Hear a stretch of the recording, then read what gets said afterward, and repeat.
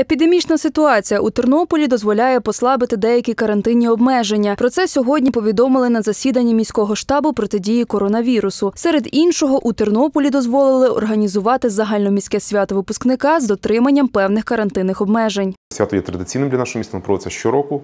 Тому, враховуючи те, що немає небезпеки е, захворюваності, кількість хворих зменшується. Звичайно, свято буде проведено, але знову ж таки при дотриманні певних тих мінімальних протикарантинних обмежень, які рекомендовані Міністерством охорони здоров'я. Вона розпочнеться в 15-й годині. е, В п'ятницю, 2 липня, від наставної церкви, як традиційно вже пройде через цю центральну частину міста і завершиться святкуванням, врученням дипломів безпосередньо на центральному стадіоні.